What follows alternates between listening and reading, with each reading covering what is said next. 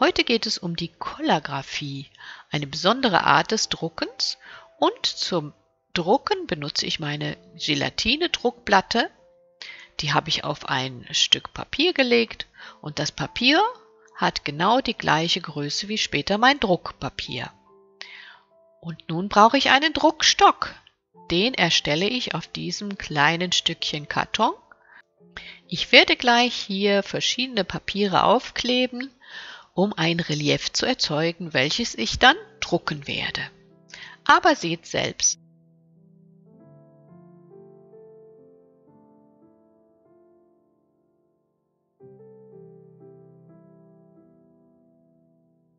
Die Gelatineplatte lege ich zunächst einmal beiseite, denn es geht im ersten Schritt um die Gestaltung meines Druckstocks. Ich habe hier einen Acrylbinder als Kleber vorgesehen. Im Verlauf habe ich aber mich doch nochmal anders entschieden, da dieser Kleber zu wasserhaltig ist und mein Karton dann quillt. Ich nehme lieber diesen Klebestift, der hat weniger Wasser und funktioniert viel besser. Außerdem brauche ich natürlich verschiedene Papiere. Als erstes nehme ich hier zum Beispiel ein Butterbrotpapier.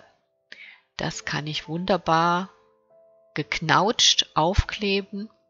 Und als zweites habe ich hier eine Rolle Raufasertapete, die hat auch eine schöne Struktur. Diese beiden nutze ich unter anderem. Nun geht es aber zunächst ans Kleben. In dem Wort Kollagraphie steckt das französische coller, kleben, und so haben wir den Begriff also auch schon erklärt. Der Klebestift leistet mir hier gute Dienste. Ich reiße aus meinem Butterbrotpapier ein Stück aus und möchte es auf mein Stück Karton kleben.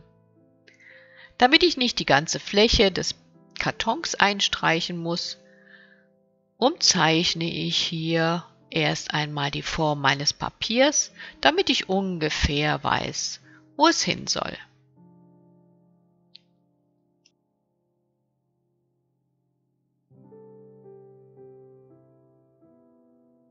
Diese Fläche streiche ich nun komplett mit dem Kleber ein. Man sollte darauf achten, dass er überall gut verteilt ist. Und dann kann ich schon das Papier darauf platzieren. Ich wollte es ja geknautscht aufkleben und hier merke ich, ach, das klebt sofort und ich kann es gar nicht mehr knautschen, nicht mehr verrutschen. Also ziehe ich es nochmal ganz ab, knautsche es vorher und klebe es dann auf die Fläche auf.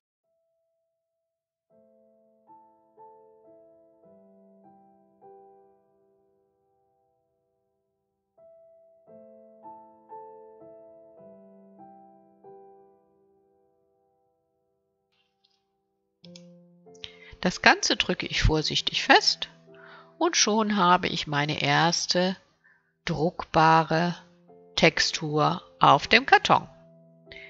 Aus der Raufaser schneide ich jetzt mit der Schere noch zwei Formen aus, die ich ebenfalls aufklebe.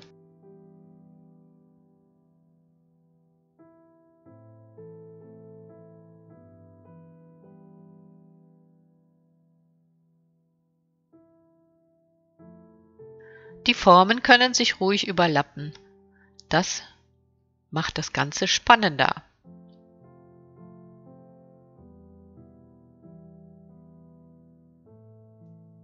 Hier klebe ich noch ein kleines Stück von einem glatten Druckerpapier auf. Das ergibt wieder andere Texturen und das gleiche Druckerpapier schneide ich jetzt nochmal für meine Horizontlinie aus. Das heißt, ein Teil der Strukturen, die jetzt schon auf dem Karton sind, werden dadurch wieder zugedeckt.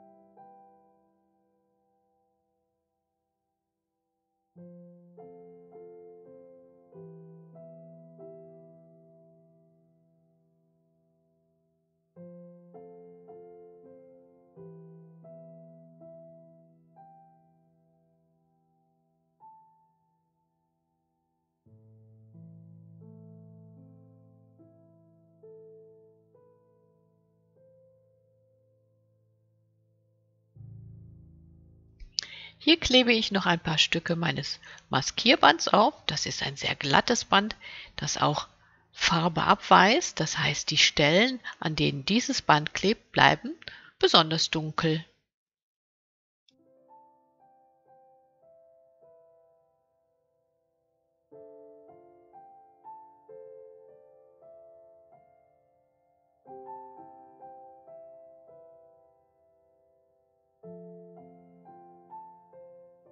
Mit einem Kugelschreiber drücke ich fest Linien in den Karton.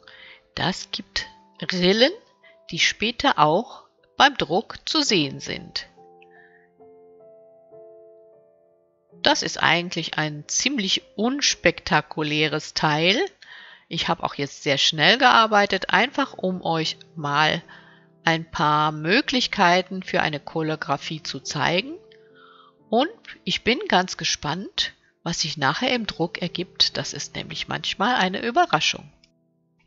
Zum Drucken brauchen wir also zum ersten die Gelatineplatte, den Druckstock, also die Choreografie und eine Walze, vielleicht auch eine zweite Walze noch, dann schwarze Farbe und ein Druckpapier, das heißt, auf dieses Papier wird mein Bild nachher gedruckt. Es ist genauso groß wie das unterliegende. Zunächst einmal kommt die schwarze Farbe auf die Gelatineplatte. Man nimmt nicht zu wenig. Also die Fläche muss komplett bedeckt sein und auch die Ränder müssen gut eingestrichen werden. Man sollte schnell arbeiten, die Farbe trocknet rasch. Alternativ kann man aber auch mit anderen Druckfarben, die nicht so schnell trocknen, arbeiten. Nun kommt der Druckstock mit der Druck mit der Reliefseite nach unten und wird gut angedrückt. Dabei nehmen die reliefartigen Strukturen die Farbe unterschiedlich auf. Ein spannender Moment, das ist also mein Druck, der jetzt noch auf der Gelatineplatte ist. Hier sollte er zunächst einmal komplett trocknen. Das heißt, ich warte einige Zeit, und erst wenn er oberflächentrocken ist, kann ich ihn mit einer weiteren Schicht Farbe oder Binder abnehmen. Dazu brauche ich eine saubere Walze. Ich nehme hier weiße Farbe und verteile sie gleichmäßig und nicht zu dick vorsichtig über meinen Druck. Durch die feuchte Farbe wird der Druck bzw. die schwarze Farbe wieder etwas aufgenommen und die weiße Farbe verbindet die schwarze Farbe mit der Oberfläche meines Papiers. Ich lege also mein Papier auf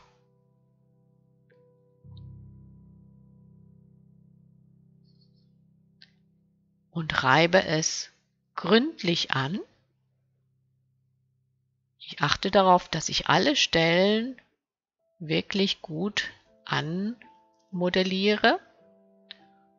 Und das Ganze lasse ich mindestens 10 Minuten liegen.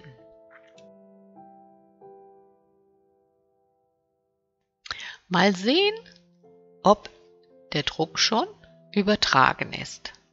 Ich schaue mal an eine Ecke nach. Oh nein, ich glaube, wir müssen noch ein wenig warten. Ich gebe dem Ganzen noch weitere fünf Minuten. So, jetzt wird es soweit sein. Ganz vorsichtig.